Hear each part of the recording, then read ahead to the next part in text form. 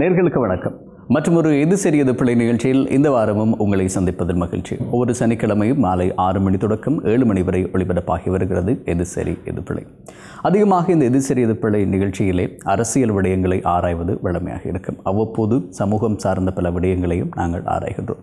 காலத்தின் தேவையறிந்து சில விடயப்பரப்புகளை நாங்கள் ஆராய்வது பொருத்தமாக இருக்கும். சமூகத்தினுடைய தேவையறிந்து முக்கியமாக எங்களுடைய ஊடகம் அந்த பணியை செய்து வருகிறது அதனொரு அங்கமாகத்தான் இன்றைய தினம் இந்த எது சரியது பிள்ளை நிகழ்ச்சியில் சம சமகால நிலவரங்களோடு சேர்ந்த ஒரு விடயத்தை நாங்கள் கையாளப் போகிறோம். உங்களுக்கு தெரியும் இப்போது அதிகரித்திருக்கின்றது டெங்கு. டெங்கினால் நாளுக்கு நாள் மரண எண்ணிக்கை அதிகரித்து கொண்டிருக்கிறது. நாடளாவிய ரீதியில் இந்த டெங்கினுடைய பாதிப்பு அதிகரித்து கொண்டிருக்கிறது. இந்த டெங்கினுடைய பாதிப்பை தடுப்பதற்கும் டெங்கு நோயிலிருந்து மக்களை தடுப்பதற்கும் பல்வேறுபட்ட ஆலோசனைகள் மருத்துவத்துறை சார்ந்தும் அமைப்புகள் சார்ந்தும் திணைக்களங்கள் சார்ந்தும் செயற்படுத்தப்பட்டு வந்தாலும் அதனுடைய மரண வீதம் குறைவதாகவோ இல்லாவற்றால் அது சார்ந்த ஒரு தயார்படுத்தலில் ஒவ்வொரு மனிதர்களும் தயார் தயாராகிறார்களா என்று கேட்டால் அது இப்போதும் கேள்விக்குறியாகத்தான் இருக்கிறது. ஆகவே இந்த டெங்கு நோயை கட்டுப்படுத்த முடியாமல் தொடர்ச்சியாக இது நீடிப்பதற்கு காரணம் என்ன? ஒவ்வொருவரும் தனிப்பட்ட ரீதியில் அதற்கு செய்ய வேண்டிய விடயங்கள் என்ன என்பதை ஆராய்வதற்காகவே நாங்கள் இன்றைய எது சரியது பிள்ளை நிகழ்ச்சி இந்த டெங்கு தொடர்பான விடயத்தை ஆராயப் போகிறோம். சரி இது ஒரு விவாதமாக இல்லாவிட்டாலும் ஒரு விழிப்புணர்வு சார்ந்த ஒரு நிகழ்ச்சியாக இன்றைய தினம் நாங்கள் இந்த களத்தை பயன்படுத்திக் கொள்ளப் போகிறோம். அந்த வகையில் எது சரியது பிள்ளை பக்கத்தில் மூவரை நாங்கள் அழைத்திருக்கிறோம். அதொருவர் இந்த டெங்கு நோய் தொடர்பாக வெளிநாட்டில் சென்று விசேடமாக பயிற்றுவிக்கப்பட்ட வைத்தியர் பொது வைத்தியர் வைத்திய கலாநிதி பேரானந்தராஜய்யா அவர்கள். வணக்கம். அதேபோன்று யாழ்ப்பாணம் மாநகர சபையினுடைய சுகாதார குழுவினுடைய தலைவர் பார்த்திவன் அவர்கள். வணக்கம். பொதுமக்கள் சார்பில் பல சமூக சேவைகளை செய்து வருகின்ற சிவரூபன் அவர்கள். வணக்கம். மூவரும் எது சரியது பிழை பக்கத்தில் வருகை தந்திருக்கிறார்கள். அதே போன்ற கேள்விகளையும் கருத்துக்களையும் கேட்பதற்காக நமது ஊடக நண்பர்கள் இங்கே இருக்கிறார்கள். சிரேஷ்ட ஊடகவியலாளர் முகுந்தன் அவர்கள் வருகை தந்திருக்கிறார். வணக்கம். அதேபோன்று ஊடக நண்பர் கலிஸ் வந்திருக்கிறார். வணக்கம். அதேபோன்று சேரன். வணக்கம். அனைவரையும் இந்த எது சரியது பிள்ளை நிகழ்ச்சிக்கு நாங்கள் வரவேற்றுக் கொண்டு இன்றைய தினம் டெங்கு தொடர்பான விழிப்புணர்வு மக்களுக்கு தேவையான பல விடயங்களை இந்த களத்திலே நாங்கள் ஆராயப் போகிறோம். முதலில் நாங்கள் வைத்திய கலாநிதியிடமிருந்து ஆரம்பிக்கலாம் என்று நினைக்கிறேன். தகவலோடு நாங்கள் ஆரம்பிப்போம். இப்போது டெங்கினுடைய நிலவரம் எப்படி இருக்கிறது? யாழ் மாவட்டத்தை பொறுத்தவரையிலும் இலங்கையை பொறுத்தவரையிலும் அதனுடைய நகர்வுகள் இப்பாடு நடந்து கொண்டிருக்கிறது? டெங்கு நோயின் தாக்கம் இந்த வருடம் அதிகரித்திருக்கிறது.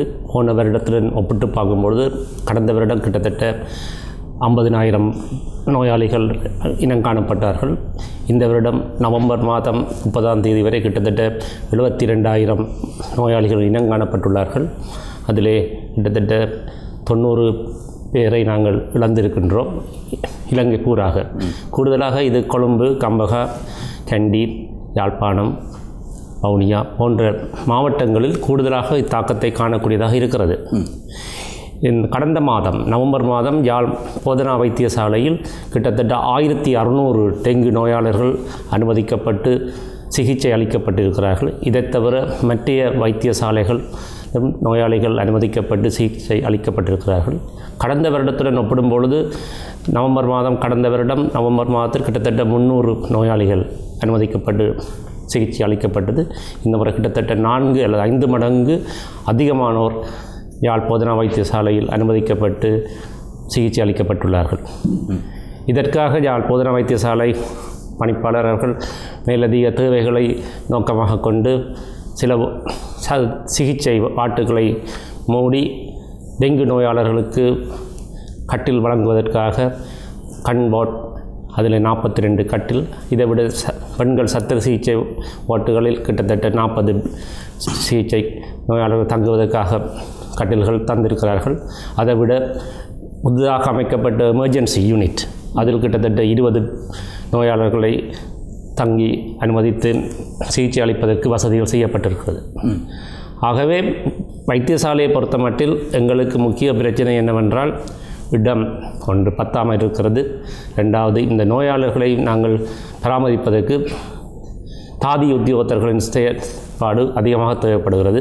தொடர்ந்து அவர்களை மானிட்டர் பண்ணுவதற்கும் அவர்கள் எவ்வளவு திரவங்கள் நாங்கள் பருக கொடுக்குறோம் எவ்வளவு ஐவி ஃப்ளூயிட்ஸ் கொடுக்குறோம் எவ்வளவு யூரின் அவர்கள் பாஸ் பண்ணுறார்கள் அடிக்கடி அவர்களோட ப்ளட் ப்ரெஷர்கள் வேறு சில இரத்த பரிசோதனைகள் செய்ய வேண்டும். அப்போ கிட்டத்தட்ட ஒரு இந்த அளவு நோயாளியை பாதுகாப்பதற்கு கூடுதலான தாதி உத்தியோகர்கள் தேவைப்படுகிறார்கள். இது ஒரு குறைபாடாக இருக்கிறது. மற்றும் வகையில் பரிசோதனை வசதிகள் போதியளவு இருக்கிறது. டாக்டர்கள் வசதிகள் இருக்கிறது. நோயாளர்கள் இந்த நோய் தன்மை அடையா குணங்குறிகளை கண்டவுடன் காய்ச்சல் கண்ணில் நோ தலையிடி மசில் பெயின் அதாவது தசைப்பிடி தசையில் நோ மூட்டுக்களின் நோ போன்றவை வரும்போது ரெண்டு அல்லது மூன்று நாட்களுக்கு மேல் காய்ச்சல் இருந்தால் அவர்கள் வைத்தியசாலை அணுகி இரத்த பரிசோதனை செய்வது நல்லது. அந்த இரத்த பரிசோதனையில் நாங்கள் இவருக்கு டெங்கு இருக்கா இல்லையா என்று நாங்கள் கண்டுபிடிக்கலாம். சில தேவைப்பாடுகள் ஏற்படும் போது அவரை நாங்கள் வாட்டில் அனுமதித்து சிகிச்சை அளிக்க வேண்டி வரும். அநேக மாணவர்களை நாங்கள் திரும்ப வீட்டுக்கு அனுப்பி அடுத்த நாள் கூப்பிட்டு திரும்ப இரத்த பரிசோதனை செய்து அவருக்கு அறிவுரைகள் கூறி அவரை வீட்டிலும் வைத்து பராமரிக்கக்கூடியதாக இருக்கிறது. சரி நான் இன்னும் தொடர்ச்சியாக இந்த டெங்கு நோய் தொடர்பான சில கேள்விகள் உங்களிடம் இருக்கிறது. இனி அவர்களிடம் சென்று விட்டு நான் மீண்டும் வருகிறேன். திரு பார்த்திவனிடமிருந்து ஆரம்பிக்கலாம். வடக்கை பொறுத்தவரையிலே மாநகர சபையினுடைய பெரிய ஒரு மாநகர சபை யாழ்ப்பாண மாநகர சபை அதனுடைய சுகாதார குழுவினுடைய தலைவராக இருக்கிறீர்கள். பல்வேறுபட்ட குற்றச்சாட்டுகள் இருக்கிறது இப்போதும். மாநகர சபையினுடைய சுகாதார கட்டமைப்பு என்பது சரியாக இயங்கவில்லை என்று. இந்த டெங்கு பரவுவதற்கான முக்கியமான காரணங்களில் அதுவும் ஒன்றாக குறிப்பிடப்படுகிறது. ஏன் அது இன்னும் சரி செய்யப்படாமல் இருக்கிறது அதனுடைய நிலவரம் எப்படி இருக்கிறது இப்போது? அஹ், நேயர்கள் அனைவருக்கும் வணக்கம். நீங்கள் ஒரு கருத்தை சொல்கிறீர்கள் யாழ் மாநகர சபையின் சுகாதார குழு தலைவர் என்று. என்னை பொறுத்த வரைக்கும் அங்கு சுகாதார குழு தலைவர் என்கின்ற ஒரு கருத்து அது ஒரு முழுமையான கருத்தாக நான் ஏற்றுக்கொள்ள மாட்டேன். தலைவர் நீங்கள் தானே? ஏன் அது- அதுக்கான காரணத்தை நான் சொல்லுகின்றேன். யாழ் மாநகர சபையிலே இந்த சுகாதார குழு தலைவராக நான் பொறுப்பெடுத்த பிறகு பல்வேறுபட்ட செயல் திட்டங்களை கொண்டு வந்தோம். அதை சபையிலே முன்மொழிந்திருக்கின்றோம் ஆனால் சபையிலே அந்த முன்மொழிந்தது அனைத்தும் செயல்களாகவே இருந்தது. செயல்களாக இருக்கவில்லை. வெறுமான வார்த்தைகளாக மட்டும் இருந்தது. இது தொடர்பாக நம் சபையிலே நான் கேட்ட பொழுது சபையிலே கூறப்பட்டது. அதன் செயலாளருக்கும் அஹ், கூறப்பட்டது. சு- இல மாநகர சபையில் இருக்கின்ற நிலையியல் குழுக்களுக்குள் நிதிக்குழு மட்டுமே அங்கீகாரம் பெற்றதென்றும் சுகாதார குழு மற்றும் மராமத்து குழு அனைத்துக்கும் எந்த ஒரு அங்கீகாரமும் இல்லை. அவர்கள் வெறுமன பிரேரணைகளை முன்வைக்கலாம் அவரது கோரிக்கைகளை முன்வைக்கலாம். அதனை செயல்படுத்துவதற்கான எந்த ஒரு அதிகாரமும் இல்லை என்று கூறப்பட்டது. அந்த நிமிடம் நான் எனது பதவியை அந்த இடத்திலே நான் ராஜினாமா செய்தேன். உண்மையிலேயே அந்த அவர்கள் வெறுமன ஒரு நாங்கள் இவ்வாறு செய்கின்றோம் இவ்வாறு செய்கின்றோம் என்பதை பேப்பரில் கொடுக்கின்றதை விட ஒரு உலகில் தலை சிறந்த சொல் செயல் செயல் என்று தான் சொல்வார்கள். அது இருக்க வேண்டும் என்றதுக்கு ஒரு குறிக்கோள் இருந்தது. ஆனால் அவ்வாறு அவர்களுடைய மாநகர சபை- சபை கட்டளை சட்டத்தில் சொல்லுகின்றார்கள் அவ்வாறான எதுவுமே செய்ய முடியாது. இருந்த பொழுதும் கௌரவ முதல்வர் அவர்கள் எங்களுக்கு உறுதியளித்தார். இல்லை நீங்களே இதனை கொண்டு செல்லலாம் என்று. அதன் பிரகாரம் நான் இருந்தேன். ஆனால் அதற்கு பிற்பாடும் எதுவும் நடைபெறவில்லை. ஆனால் அதற்காக இது பந்தை தூக்கி வெற்றவர்கள் போ- தலையில் போட்டுவிட்டு செல்ல முடியாது. ஏனென்று சொன்னால் இது அரசியலுக்கு அப்பால் இந்த சமுதாயத்தை வாழ்கின்ற ஒவ்வொரு மனிதனுடன் நோய் சம்பந்தமான அல்லது அவற்று அவர்களுடைய உயிர் சம்பந்தமான பிரச்சனை. ஆகவே இந்த சமுதாயத்திலே வாழ்கின்ற அத்தனை பேரும் அதற்கு பொறுப்பு கூற வேண்டிய தேவை இருக்கின்றது.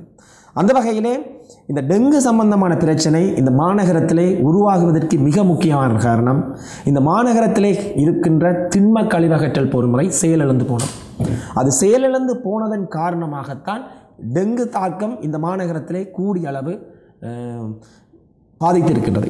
உண்மையிலே இந்த திண்ம கழிவகற்றல் பொறிமுறை ஆரம்பத்தில் இருந்து இந்த திண்ம கழிவகற்றல் பொறிமுறையை மாநகரத்திலே சீர் செய்ய வேண்டும் என்பதற்காக மட்டும்தான் நாங்கள் இரண்டாயிரத்தி பத்தொன்பதாம் ஆண்டு வரவு செலவு திட்டத்திலே ஆதரித்தோம். அதில் கிட்டத்தட்ட முப்பது மில்லியன் ரூபாய்களை ஒதுக்கினார்கள். ஆனால் வளமையாக சொல்வதும் போது அது தொகைகளாகவே மட்டுமே இருந்தது. அது வேற விடயம். ஆனால் அவர்கள் தொகையாக இருந்தாலும் அந்த மாநகரத்திலே காணப்படுகின்ற திண்ம கழிவகற்றல் பொறிமுறையை ஒழுங்குபடுத்த வேண்டும் என்பதற்காக எந்த ஒரு மேலதிக நிதியும் இல்லாமல் அந்த மாநகரத்திலே காணப்படுகின்ற வளங்களை மட்டும் ஒன்றிணைத்து நாங்கள் சுகாதார குழுவும் மராமத்து குழுவும் இணைந்து ஒரு திண்ம கழிவகற்றல் பொறிமுறையை கொண்டு வந்தோம். கிட்டத்தட்ட ஒன்றரை மாதம். கௌரவ முதல்வரின் அனுமதியுடன்.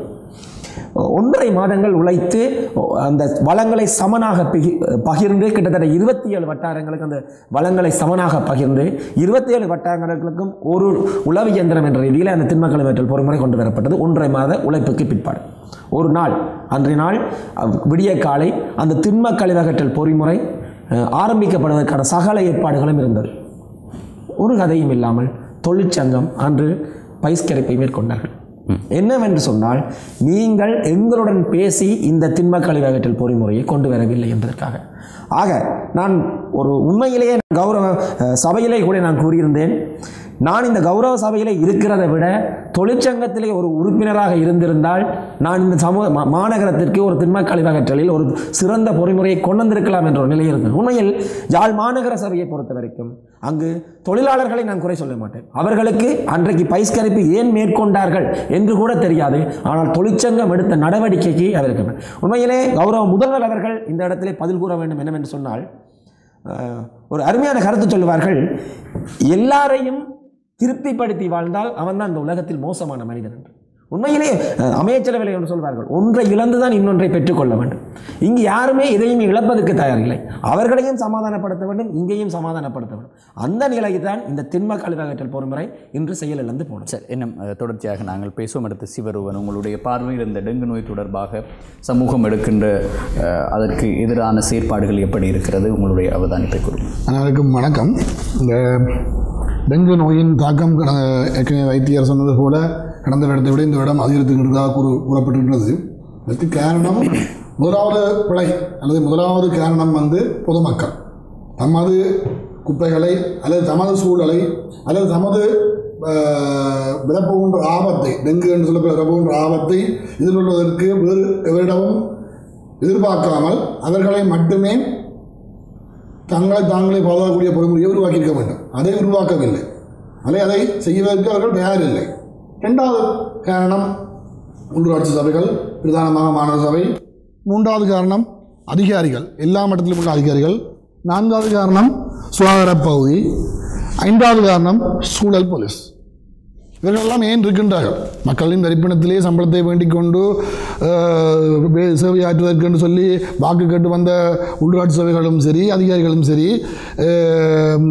மற்ற உறுப்பினர்களும் மற்ற அதிகாரிகளும் சரி ஏன் இருக்கின்றார்கள் என்று விளங்கவில்லை இந்த டெங்கு நோய் நாங்கள் பார்த்தோம்னு சொன்னால் தை மாதத்திலிருந்து செப்டம்பர் அக்டோபர் மட்டும் பெருமளவு இருக்காது அக்டோபர் கடைசியிலிருந்து அல்லது அக்டோபர் நடுப்பதிலிருந்து நவம்பருக்கு கூடி டிசம்பருக்கு குறைஞ்சு திருப்பி ஜனவரிக்கு நவம்பர் ஜனவரிக்கு நவம்பருக்கு போகும் அப்பொழுது நாங்கள் நவம்பரிலோ அக்டோபரிலோ துள்ளுவதில் பிரயோஜனம் இல்லை ஆகஸ்ட் அக்டோபர் மாதத்தில் ஆகஸ்ட் சுகம் செப்டம்பர் அக்டோபர் மாதத்திலே நாங்கள் அதுக்கான தயார்படுத்தலை மேற்கொண்டிருக்க வேண்டும்.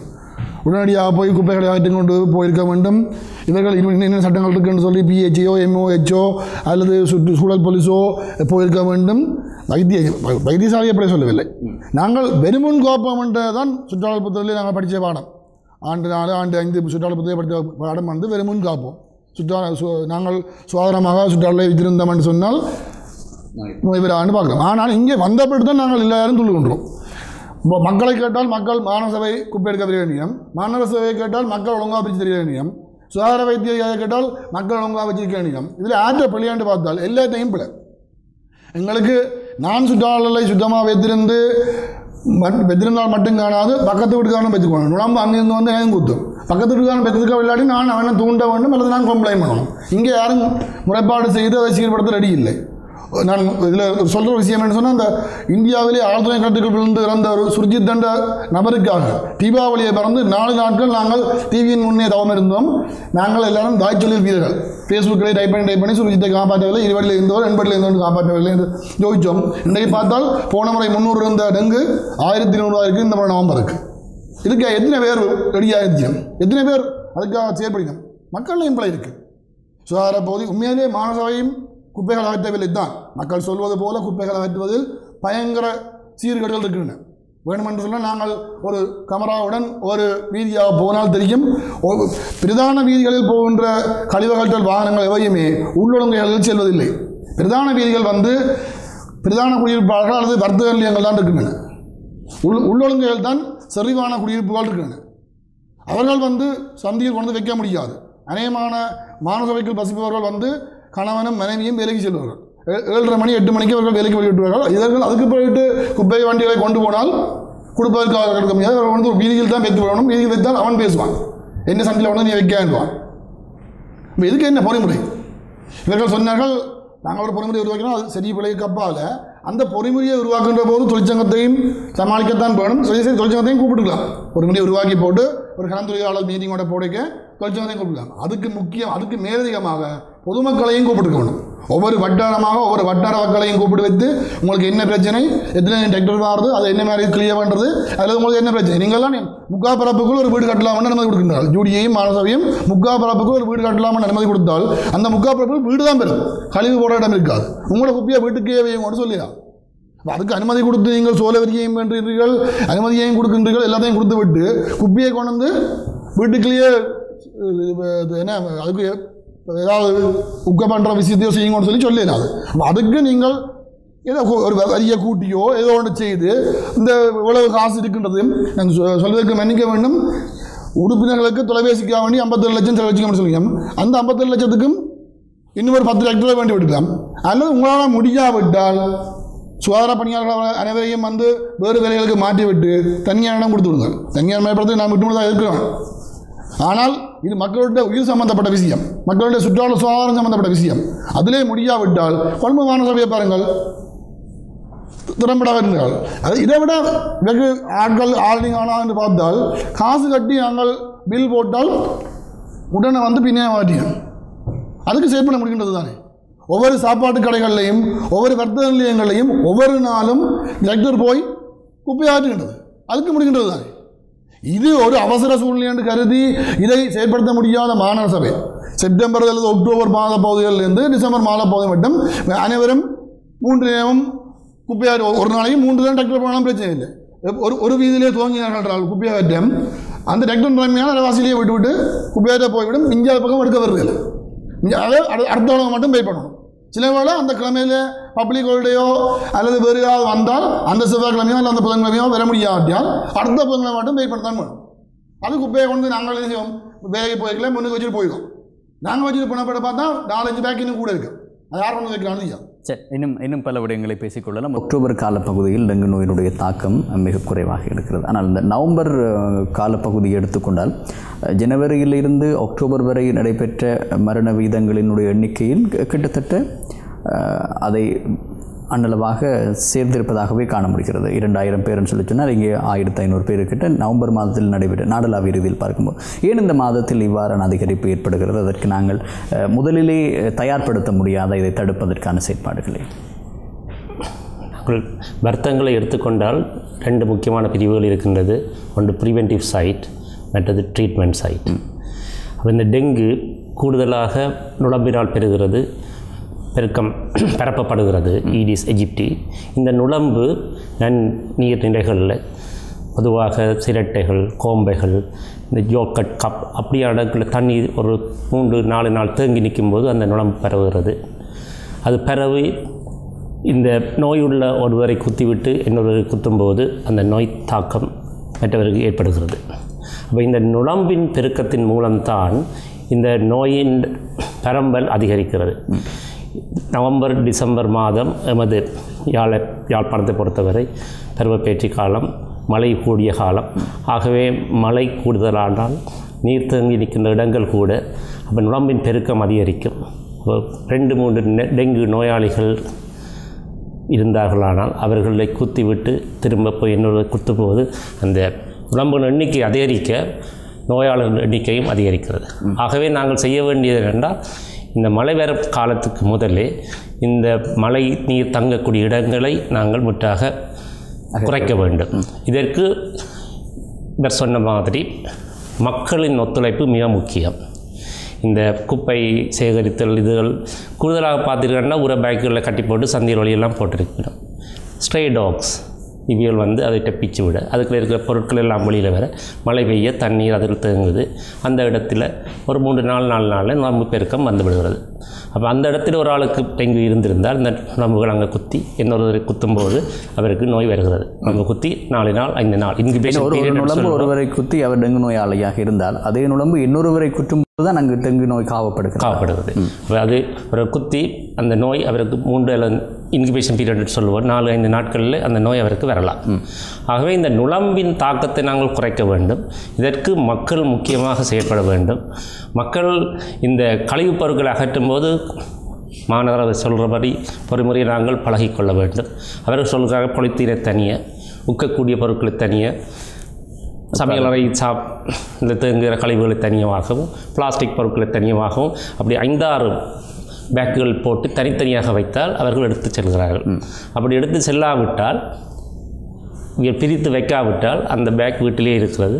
அவர்கள் சில நேரம் வெளியிடங்களில் கொண்டே போடுவார்கள் அவர்கள் பொதுவாக மாநகர சபையோ இல்லாவிட்டால் பிரதேச சபையோ தனித்தனியாக என்னென்ன குப்பைகளை இதிலே போட வேண்டும் பிரித்து ஒவ்வொரு இது வைக்கிறார்கள். ஆனால் மக்கள் அதை அந்த முறையிலே சரியாக பயன்படுத்துவதில்லை. இந்த மக்கள் முதலில் மாற்றத்தை கொண்டு வர வேண்டும். மக்கள் முதல் வீட்டிலே அதை செய்ய வேண்டும். இந்த அயலவர்களுக்கு நாங்கள் அதை அறிவூட்ட வேண்டும். அந்த டெங்கு நுழம்பின் பெருக்கத்தை குறைத்தால் இந்த டெங்குவின் பிரச்சனையை நாங்கள் நன்றாக குறைக்கலாம். நாங்கள் ஏப்ரல் மே ஜூன் ஜூலை அந்த மாதங்களில் மழை வீழ்ச்சி குறைவு. அந்த மாதங்களில் எங்களுக்கு வர நோயாளர் எண்ணிக்கையும் குறைவு. கிட்டத்தட்ட மாதத்துக்கு ஐம்பது நூறுக்குள்ளே தான் இருக்கும் இந்த நோய் இலங்கை பூராக இப்போ இருக்கிறது. ஆனால் இப்படியும் மழை காலங்கள் வரும்பொழுது நுழம்பின் பெருக்கம் கூடும் பொழுது நோயாளர் எண்ணிக்கை கூடுகிறது. ஆகவே மக்கள் மாநகர சபை பிரதேச சபை இந்த கழிவு அகற்றல் பொறிமுறையை திறம்பட நடத்தினால் இந்த தாக்கத்தை குறைக்கலாம்.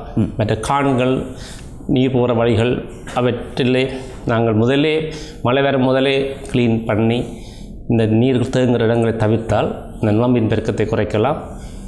இந்த டெங்கு தாக்கத்தை குறைக்கலாம். சரி. அடுத்து நாங்கள் பார்வையாளர்கள் பக்கத்தில் இருந்து கேள்விகளுக்கும் கருத்துக்களுக்கும் செல்லலாம். நமது சிரேஷ்ட ஊடகவியலாளர் முகுந்தனிடமிருந்து ஆரம்பிக்கலாம். அனைவருக்கும் வணக்கம். முக்கியமான ஒரு பிரச்சனை தொடர்பாக இன்றைக்கு எது சரியது பிள்ளை ஆராய்கிறது. பொறுப்பு வாய்ந்த மூன்று பிரதிநிதிகள் மறுபுறத்தில் இருக்கிறது. வரவேற்கக்கூடிய ஒன்று. இங்கே பொதுவாக சொல்ல வேண்டிய நான் முதல் கேள்விக்கு முதலே கருத்துக்களை சொல்லுகிறேன் ஒரு ஊடகவியலாளர் முறையிலே. ஒன்று நாங்கள் இப்படி சுட்டி காட்டுகிறோம் என்று சொன்னால் அங்கே ஒரு விரல் தான் உரியவரை காட்டுகிறது. மற்ற மூன்று விரல்கள் எங்களை காட்டுகிறது என்பது. அப்போ நாங்கள் எப்பொழுதும் எங்களுடைய வாழ்க்கையிலே சுட்டிக்காட்டி ஒன்றை நாங்கள் கேள்வி எழுப்புகின்ற போது அந்த கேள்வி பன்மடங்காக எங்களை நோக்கி நாங்களே முதலில் கேட்டதற்கானபடியே தேடி கண்டுபிடிக்க வேண்டும் என்ற ஒரு பொதுவான யதார்த்தமான ஒரு கருத்து இருக்கிறது அதை தாண்டி தென்னாலி படத்தில் கமலஹாசன் எங்கட தமிழில் பேசி கதைக்க கஷ்டப்பட்டு கதைக்க பழகின மாதிரி எனக்கு அதுக்கு பயம் இதுக்கு பயம் என்று சொல்லி. மனுஷன் வாழ்க்கையில் எத்தனையோ பயங்கள் இருக்கிறது. ஆனால் எல்லா பயங்களுக்கும் தலையாய பயம் இந்த மரண பயம். அப்போ இந்த டெங்கு என்பது இன்றைக்கு மரண பயத்தை தரக்கூடிய ஒரு நோய். அப்போ அந்த மரண பயத்தை தரக்கூடிய ஒன்று அந்த அந்த அச்சுறுத்தல் இன்றைக்கு விஸ்வரூபம் எடுக்கிறது என்று சொல்லி சொன்னால் அந்த மரண பயத்திற்கு மக்கள் தங்களை இன்னும் தயார்படுத்தவில்லையோ? அவர் அவர்களுக்கு இது ஒரு மரண பயத்தை உண்டு பண்ணக்கூடிய அளவுக்கு ஆன பிரச்சாரத்தை எல்லா தரப்பும் கொண்டு போகவில்லையோ? என்ற ஒரு சந்தேகம் ஒன்று ஒன்று இருக்குது இங்கே கன்னிவெடி இதில் இருக்குது என்று சொல்லி கன்னிவெடி இல்லாட்டி ஒரு மஞ்சள் கோடு போட்டு விட்டால் சனவதில் போகிறதுக்கு யோசிக்குது. அப்போ இது மரண பயத்தை தரக்கூடிய ஒரு நோய். இப்போ நீங்கள் சொல்வது போல் எங்களுடைய அந்த அந்த அந்த டெங்குனால் பாதிக்கப்பட்ட பெறுபவர்களுடைய வீதங்கள் எண்ணிக்கை அடிப்படையில் அதிகரித்து கொண்டு போகிறதுன்னு சொன்னால் இவ்வளவு பேர் மரணத்தை அண்மித்து கொண்டிருக்கிறார்கள். மரண பயத்தை அஹ், நெருங்கி கொண்டிருக்கிறார்கள் என்று சொன்னால் மக்கள் பயப்பட வேண்டிய ஒரு விஷயம். ஆனால் மக்கள் மத்தியிலே டெங்கு நோய் தொடர்பாக பயம் வந்ததாக தெரியவில்லை. ஒரு ஊடகவியலராக நான் சொல்லுகிறேன். அப்போ இந்த சீசனல் கிரீட்டிங்ஸ்னு சொல்லுவார்கள். இப்போ நாங்கள் ஒவ்வொரு வருஷமும் ஒரு பருவகாலங்கள் வரைக்கும் நாங்கள் எங்களுக்கு அன்புக்குரிய வரைக்கும் ஒரு சீசனல் கிரீட்டிங்ஸ் கார்டு ஒன்று அனுப்புகிறது அப்போ நாங்கள் ஒரு படித்த ஒரு சமுதாயம் மக்கள். அப்போ படிப்பறிவு எங்களுக்கு இருக்குது. அப்புறம் அவர் சொன்ன மாதிரி இப்போ எங்களுக்கு சில விஷயங்களை இன்னொரு ஆள் வந்து எங்களுக்கு சொல்லித்தர வேண்டும் அவசியம் இல்லை. இப்போ நாங்கள் இப்போ இந்த வருத்தம் இப்போ வைத்திய கலாநிதி அவர்கள் சொல்வது போல் ஒவ்வொரு வருடமும் இந்த மாதத்தில் இந்த அச்சுறுத்தல் எங்களுக்கு வந்து கொண்டிருக்கிறது என்று சொன்னால் அது ஒரு ஒரு வருஷம் வரலாம் ரெண்டு வருஷம் வரலாம். மூன்றாவது வருஷம் திருப்பி வருது என்று சொன்னால் முதலில் அவர் சொன்னது போல இது மக்களிடம் ஒரு பெரிய குறை இருக்கிறது என்பதுதான் அர்த்தம். இப்போ நாங்கள் மக்கள் வந்து உரியவர்களை சுட்டி காட்டுவதை முதலில் அவர்கள் தன்னார்வத்தோடு தங்களுடைய பாதுகாப்பை அவர்கள் தக்க வைத்துக் கொள்ள வேண்டியது மிக முக்கியமான விஷயம். நான் மக்களுக்கு சொல்லுகின்ற விஷயம். அப்போ இது இது- சீசனல் இஷ்யூ மன்னிக்க வேண்டும். இந்த மக்கள் தொடர்பாக சுகாதார பரிசோதகர்கள் வீடுகளுக்கு சென்று வீட்டிலே. இருக்கின்ற குற்றங்களை கண்டுபிடித்து உடனே தண்டனை வழங்குகிறார்கள். அதைத்தான் சொல்ல வருகிறேன். என்றால் இப்போ எங்களுக்கு உள்ள மக்களுக்குள்ள சீசனல் இஷ்யூ என்றது சில தரப்புக்கு சீசனல் இவெண்ட்ஸாக போய்விட்டது. போய்விட்டு அவர்கள் அது தொடர்பான ஒரு இவெண்ட் மேக்கிங் மாதிரி அதுக்கு ஒரு பட்ஜெட் போட்டு அதுக்கு இவ்வளவு செலவு அதுக்கு செலவு இந்த செலவு என்று சொல்லி அதுக்கான ஒதுக்கீடுகள் நடக்கிறது. இப்போ இந்த இந்த இஷ்யூ என்பது தொடர்ச்சியாக இருந்தால் தான் அவர்களுக்கு அது இவெண்ட்ஸாக இருக்கு. அவர்களுக்கு அதுக்காக ஒரு பாதுகாடு ஒன்று போட்டு அதுக்காக நிதியை ஒதுக்கி அவைக்கு தங்களுக்கு ஒரு வேலை திட்டங்களை உருவாக்கி தங்கள் ஊழியர்கள் நாங்கள் வேலை செய்கிறோம் என்று காட்டுறதுக்கு ஒரு இருக்கும். அப்போ இதில் ஒரு சந்தேகம் இருக்குது இப்போ பொறுப்பு வாய்ந்தவர்கள் இதை முற்றாக ஒழிப்பதற்கான ஆத்மார்த்தமாக அர்ப்பணிப்போடு அவர்கள் நடந்து கொண்டால் சில வேளை இதனுடைய பொறுப்புகளின் குறைவை நாங்கள் அவதானித்திருக்க வேண்டும். அப்போ வரையிலன்னு சொன்னால் சரி மக்கள் தாங்கள் உணரையில் சரி மக்களுக்கு உணர்த்த வேண்டியவர்கள் சரியாக செய்யலை ஒன்று சந்தேகம் வருகிறது. இப்போ நீங்கள் கேட்ட கேள்வியை தான் கேட்க வருகிறேன். மா- மாநகர சபை அதில் பொறுப்பாக இருந்த விரக்தியோடு கதைச்ச வசனங்கள். இப்போ இது எங்களுக்கு பழகி போச்சு இப்போ எங்களுக்கு ஒரு பதவி தந்துச்சினம் ஆனால் நான் செ- செய்ய விடினம் இல்லை அதுக்காண்டி நான் பதவியை விட்டுட்டேன். இந்த மாதிரி ஸ்டேட்மெண்ட் எல்லாம் எங்களுக்கு கேட்டு பழகி போச்சு. இதே இதே திருப்பி வந்து இனிமேல் மக்களுக்கு முன்னால் சொல்லாதீங்க? இப்போ நான் கேட்குறேன் இப்போ நீங்கள் கேட்ட அதே கேள்வி தான் நான் நான் இந்த அஹ், டிவின்ற ஒரு ஊழியர்ன்றதுக்கு அப்பால் நான் ஒரு ஊடகவியலாளர். நான் மாநகர சபைக்கும் வைத்திய கலாநிதி அவர்களுக்கும் சமூக சபை செய்கிறவருக்கும் நான் பகிரங்கமாக வைக்கிற ஒரு சவால். இருபத்தி நாலு மணித்தியாலமும் என்னுடைய தொலைபேசி இலக்கத்தை நான் தாரேன் என்னுடைய தொலைபேசியிலேருந்து எந்த நேரம் அழைப்பு வந்தாலும் நான் சொல்கிற இடத்துக்கு வரணும். சரியா? இது பொறுப்பு வாய்ந்தாக்கள் யார் என்றால். அப்போ இந்த இடத்துல டெங்கு நோய் வரக்கூடிய அச்சுறுத்தல் இருக்குது என்று சொன்னால் அவர் வர முடியும். இல்லை அவர் அவர்கிட்ட அதுக்கான ஆலோசனை எடுக்கலாம். சுகாதார இந்த சிம்டம்ஸ் இப்போ இதில் வரக்கூடிய இந்த சோ சோஷியல் சிம்டம்ஸ் வந்து டெங்குக்கு வழிவகுக்குவான்ற ஒரு ஆலோசனையை நாங்கள் கேட்கலாம். அப்போ அவன் அந்த இடத்துல வந்து நின்று அதுக்குரிய ஆக்ஷனை எடுக்கிறதுக்கு அவர்கள் ரெடி தயாரா? அவர்கள் தயாராக இருக்கிறார்களான்றது பகிரங்க சவால். அது எங்களுடைய மீறாக இருக்கட்டும். நான் யார்கிட்டையும் நான் பகிரங்கமாக நான் கேட்குறேன். இது தொடர்பாக சம்பளத்துக்கு வேலை செய்கிற எங்களுடைய அதிகாரிகள். சரியா? ஒரு ஒரு பொதுமகன் ஒரு அழைப்பை எடுத்து இந்த இடத்துல இந்த இடத்துல எனக்கு டவுட்டாக இருக்குது இதில் டெங்கு இருக்கலாம்னு சொல்லி சொன்னால் அந்த இடத்துக்கு வந்து அது யாராக இருந்தாலும் அந்த இடத்துல வச்சு நடவடிக்கை. அதுக்கு பிறகு சட்டத்தை பார்ப்போம். அதுக்குரிய நடவடிக்கை எடுக்கிறதுக்கு அவர்கள் தயாராக இருக்கிறார்களா. அந்த அவர்களுக்கு ஆயிரம் பேர் இருக்குது யாழ் மாவட்டம் முழுக்க டிராக்டரை கொண்டு போய் தெரியவும் இல்லாது இதெல்லாம் பார்க்கவும் இல்லாது. இப்போ மக்கள் நாங்கள் உதவி செய்யணும். இப்போ மக்கள் நீங்கள் எங்களுக்கு டாண்டிவிக்கு சொல்லலாம். அல்லாட்டி இது ஒரு முறையில் என்ன சரி எனக்கு சொல்லலாம். அல்லது சுலக்ஷனுக்கு சொல்லலாம். அல்லது கலீஸுக்கு சொல்லலாம். நாங்கள் கூட அதுக்கு தான் இருக்கிறோம். இப்போ நாங்கள் உங்களுக்கு அவர்களுக்கு நேரடியாக அழைப்பு எடுத்து மக்கள் சொல்கிற இடத்துக்கு கூட்டிகிட்டு போனால் அதில் வச்சு நடவடிக்கை எடுக்க தயாராக இருக்கு நம்ம ஒரு கேள்வி அதுக்கு பதில் சொல்லட்டும். ரெண்டாவது டாக்டர் கேள்விக்கு அவர்களுடைய பதிலை கேட்டுவிட்டு அடுத்த கேள்விக்கு போகலாம் நினைக்கிறேன். நிச்சயமாக நான் நாற்பத்தி நாலு உறுப்பினர்கள் சார்பாக கூற முடியாது. நான் இந்த இடத்துல பகிரங்கமாகவே என்னுடைய மக்களுக்கு சொல்கிறேன் இந்த மக்கள் என்ன ஏன்னா நான் மாநகர சபை உறுப்பினர் என்றதை விட இந்த சமுதாயத்தில் ஒரு பொறுப்பு வாய்ந்த ஒரு மனிதனாக இருக்கணும்னு ஆசைப்பட்றேன் அண்ணா சொன்ன விஷயம் இருபத்தி நாலு மணித்தியாலமும் நான் எந்த நேரமும் அந்த இடத்துக்கு வந்து அது தொடர்பான நடவடிக்கை எடுக்கிறதுக்கு நான் நூறு நூறு வீதமான உறுதிப்பாடை நான் இந்த இடத்துல தரேன் என்ன சொல்ல முடியாது சொன்னால் நான் வந்து க்ளீன் பண்ண அடியாக இருப்பேன். ஆனால் மேற்கொண்டு அதை கொண்டு எங்கே கொண்டு போகிறது நான் கடந்த இருபத்தி நாலாம் தேதி நாங்கள் ஒரு குறிப்பிட்ட இருபத்தி இருபத்தி ஒன்றுலேருந்து இருபத்தி நாலாம் தேதி மட்டும் தன்னார்வலர்களாக ஒரு குறித்த இளைஞர்கள் சேர்ந்து க்ளீன் பண்ண வலிக்கிறாங்க அதுலேருந்து வெறும் மூன்றே மூன்று மாநில சபை உறுப்பினர்கள் மட்டும்தான் சரி நாளை நாலு மாநில உறுப்பினர்கள் மட்டும்தான் அந்த இடத்துக்கு பிற சமூகம் தந்து எமக்கான ஆதரவு தந்தார்களை ஒழிய முழுமையான வழிவகளை அவர்களால் செய்ய முடியவில்லை. நாங்கள் மன்னார் பண்ணை பிரதேசத்தையும் யாழ்ப்பாண பல்கலைக்கழக சுற்றுலாவையும் துப்புரவாக்குகின்ற பணியில் இதனால் முடிந்த அளவுக்கான உதவிகளை செய்திருந்தோம். ஆனால் அதிலே நான்கே நான்கு மாநகர சபை உறுப்பினர்கள் தான் எங்களுடன் சமூகம் வந்திருந்தார்கள். மாநகர சபை ஆணையரும் பெறவில்லை கேட்டிருந்த டாக்டர்களும் பெறவில்லை கேட்டிருந்த உதவிகளும் கிடைக்கவில்லை. நாங்கள் குப்பைகள் ஆகிட்டால் அதை கொண்டு எங்கே போடுவது? நாங்கள் மக்களை பிழை சொல்லுவோம். நீங்கள் சொன்ன விஷயம் சரி. மக்களும் பிழை விடுகின்றார்கள். இல்லையென்று இல்லை. மக்கள் கொண்டே ரோட்டிலே வேறு ஒருத்தர் வீட்டுக்கு முன்னாலேயோ வேறு வெறும் அளவுக்கு முன்னாலேயோ குப்பைகளை வீசுகின்றார்கள் சொன்னால் அதன் அடிப்படை பிரச்சனை என்னென்று பார்த்தீங்கன்னு சொன்னால் அந்த அந்த வீட்டிலே குப்பை அகற்றத்துக்குரிய ஒரு பொறிமுறை இருக்குன்னு சொன்னால் முடிஞ்சுது. அதாவது மாநசபை ஒவ்வொரு நாளும் வரும் அல்ல சில கிழமை ரெண்டு நாள் வரும் அவன் வீட்டில் இறங்குற குப்பை அகற்றத்துக்கு இன்னொரு நாள் ரெடியாக இருக்குது. அதில் இன்னொரு வழிமுறை இருக்குன்னு சொன்னால் அவங்களுடைய அவங்க வேறு வீட்டுக்கு மேலே போய்ட்டு அவமான அவமானப்படுத்த வேண்டிய குப்பையை காவி கொண்டு கண- மனைவியும் மோட்டர் சைக்கிள்லையோ ஆட்டோவிலையோ கார்லையோ கொண்டு போய் வேறு இடத்துல கொண்டு போய் போட வேண்டிய அவசியம் இல்லையே. வேறு இடத்துல குப்பை தங்க வேண்டிய அவசியம் இல்லையே. குப்பையாற்றல் பொறிமுறை சரியாக இருக்க முடியும். என்னால் என்ன பொறுத்தவரை நான் மக்கள் பிழைபிடிக்கம் இல்லைன்னு சொல்லவில்லை. ஆனால் மக்களை விட மேலதிகமாக உள்ளூராட்சி சபைகள் பெரிய விடுகிறது தங்களோட பொறுப்பிலே நான் இப்படி சொல்கிறேன்னு இல்லை. உள்ளூராட்சி சபைகளோட மு- முக்கியமான பணியை குப்பை அகற்றல் மட்டும்தான் அது- அந்த கடமையிலிருந்து அவர் தவறுகின்றார் அதுக்கான சரியான பொறிமுறையை உருவாக்கணும் உலகத்திலே எவ்வளோ பெரிய நாடுகள் இருக்கின்றன எவ்வளோ பெரிய கேவலமாக இருக்குது. அந்த விஷயத்தை கலைக்கலாம் அது ஸ்மார்ட் சிட்டியாக போகிறோம் ஸ்மார்ட் டவர் உருவாக்குறோம்னு சொன்ன மேயரும் ஆணையாளரும் இங்கே வெறும் அதே வருகிறார்கள் ஃபோன் பண்ணால் சில விட அங்கே நிற்கிறோம் இங்கே நிற்கிறோம் ஒர்க் ஷாப்பில் நிற்கிறோம் அதெல்லாம் தேவையில்லை. தாங்கள் பணியாட்டு தான் வாக்கு கேட்டு வந்த முதல் உடனே வெறும் வந்திருக்காரு இன்றைய தான் நித்யாவில் விழிச்சிரம்பி அழைக்கப்பட்டிருக்காரு இப்போ போலீஸ் வர போகுது ரெடியாக இருக்கும் இன்றைக்கு நவம்பர் மாதம் டிசம்பர் வந்துட்டு இனி டெங்கு நோய் குறைய போகுது அவர் தேவையில்லை இங்கே. அவர் வீட்டை படத்தை எடுக்கணும். சொல்றது வைக்க போகிறோம் இன்றைய தான் ரெண்டுலமே ரெண்டுலமே போயிட்டு ரெண்டுலமையாக தனியார் நிலையம் பூட்டப்படுது பிள்ளைகள் போகாது ஏன்னா லீவு நான் வந்துடுது. வகுப்பேருக்கு வேலை முடிஞ்சுது. பட் பிள்ளைகள் ஆட்டோமேட்டிக்காகவே இந்த காலத்தில் தனியார்கள் செல்வது குறைய போகுது. ஓவர் எலெக்ஷன் நடந்துட்டு இருக்கு இந்த காலத்தில் பிள்ளைகள் டியூஷன் செல்லாது. எப்போ விட்டுக்கணும் லீவு இந்த விட்டு நிர்வகிக்கணும் ஆ? இதில் எத்தனை பேர் வழக்கு போட வேண்டிய நாங்கள் தன்னார்வமாக சில சில தகவல்களை சேகரித்து வழக்கு போடுங்க கொடுத்தாங்க. இன்னிடத்துல பின்னர் குப்பை போட்டினம். ஆக கொஞ்சம் கொஞ்சம் மேட்டு கொண்டு கொடுத்தாங்க இன்னிடத்துல தொற்றுகள் ஏற்படக்கூடிய. நாங்கள் எல்லா வீட்டுக்கையும் போய் பார்க்கலாம். இதுதான் இருக்குது டவுட்டாக இருக்குது கிளியர் பண்ண போனால் கிளியர் பண்ண கிடைக்கல இல்லை அந்த வழக்கை நீங்கள் போடலாம் தானே? நாங்கள் போட்டால் எங்களுக்கு பின்னால் பிற- பிற- பிறகு வேறு பிரச்சனை வரும். நான் ரெடியாக இருக்கேன். பிரச்சனை இல்லை ரெடியாக இருக்கேன். ஆனால் அப்படி போடையா கேமராக்களையே அகற்ற சொல்லி யாழ் மாநகர உத்தரவு போட்டுட்டு. அந்த ஒரு ஒரு குடும்பம் அந்த இடத்துல குப்பை போடுகிறார்கள். அதை தடுக்க வேண்டும் என்றக்காக அவர்கள் சொந்த செலவிலே சொந்த செலவிலே. செலவிலே கேமரா போட்டது. அது வந்து சமுதாயத்துக்கு நீங்கள் ஒரு- ஒரு முன் வேறு மாதிரி நடக்கிறீங்கன்றதில் அதை கரெக்டாக சொல்லி சொல்லியாச்சு.